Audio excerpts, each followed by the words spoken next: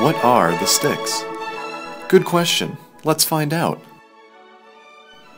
The sticks are a family of fetching sticks, each with a distinct personality.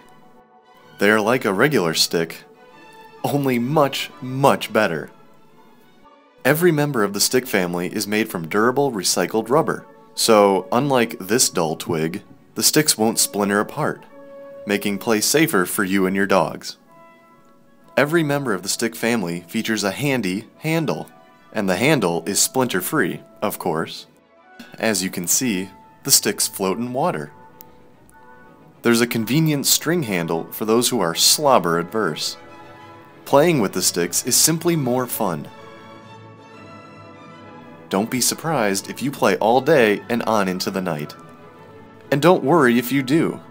Every stick comes with glow in the dark eyes. So you can play as long as you like.